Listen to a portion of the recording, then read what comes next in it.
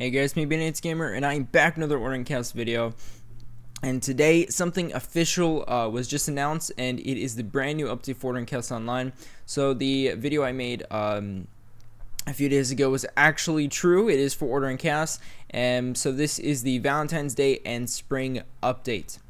Now on the forum, um, Bogdan, uh, one of the admins there on Gameloft, actually posted a whole page on it um, with a couple of pictures.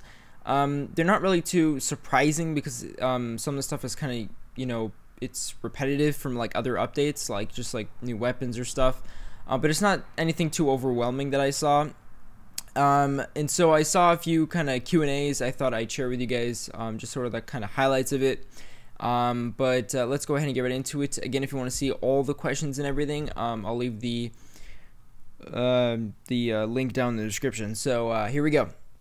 So for the changelog, there's actually two new storyline dungeons, so there'll actually be storylines um, to them. Now this is very interesting because um, I've seen that Gameloft has been adding dungeons like non-stop, so it's kind of crazy how many dungeons we're getting, um, but uh, this is a good thing. Uh, there will be new festival events, so there'll be a spring festival and a Valentine's Day um, festival. Um, new equipment and new pets and mounts. Now, just mounts you guys know I'm getting one. I'm going to get one of those cool mounts, whatever it may be. Um, hopefully, maybe something cooler than that kind of dragon um, one that I got. Uh, so here's the first question: How many bosses are going to be in the new dungeon? So um, we actually have two of the dungeon names here. It's the ruin of. Oh my god, I don't even know how to say that. Uh, Villia. Yeah, I'll say that. Villia Temple, um, which will house three bosses, and the Fate of Collapse will offer two bosses. So those are the names of the two dungeons. Uh, pretty cool stuff. Uh, that's a pretty cool name.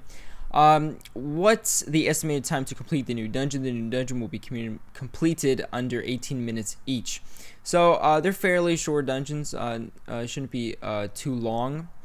Any new pets? Uh, there will be new ghost mounts, special Valentine's Day pets, and some awesome magic pets. Wow. Okay. Just from uh, ghost mounts would be awesome, but it says we'll introduce new capture ghost mounts.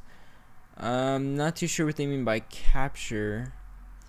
Um, I think maybe it'd be similar to the ones, um, those kind of mechanical ones. I'm not too sure.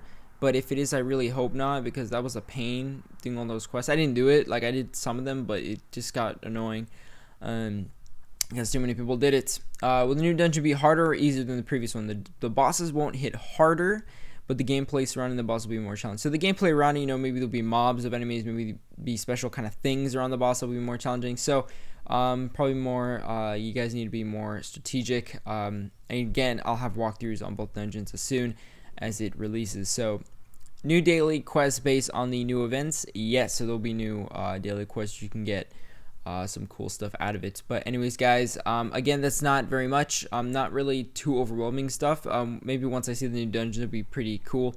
Um, but for now, there's no new classes. There's no um, new races.